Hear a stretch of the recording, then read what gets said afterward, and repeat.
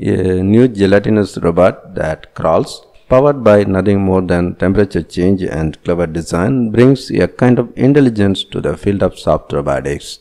The Inchworm inspired work is detailed in the journal Science Robotics. It seems very simplistic, but this is an object moving without batteries, without wiring, without an external power supply of any kind, just on the swelling and shrinking of gel, said senior author David Gracias, a professor at Johns Hopkins University. Their study shows how the manipulation of shape, dimensions, and patterning of gels can tune morphology to embody a kind of intelligence for locomotion. Robots are made almost exclusively of hard materials like metals and plastics, a fundamental obstacle in the push to create, if not more human-like robots, than robots ideal for human biomedical advancements.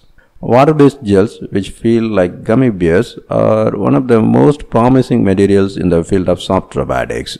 Researchers have previously demonstrated that gels that swell or shrink in response to temperature can be used to create smart structures. Here, the Johns Hopkins team demonstrated for the first time how swelling and shrinking of gels can be strategically manipulated to move robots forward and backward on flat surfaces or to essentially have them crawl in certain directions with an undulating wave-like motion. The gel bots, which were created by 3D printing for this work, would be easy to mass produce. The researcher Gracias foresees a range of practical future applications, including moving on surfaces through the human body to deliver targeted medicines. They could also be marine robots, patrolling and monitoring the ocean's surface. Gracias hopes to train the gel bots to crawl in response to variations in human biomarkers and biochemicals.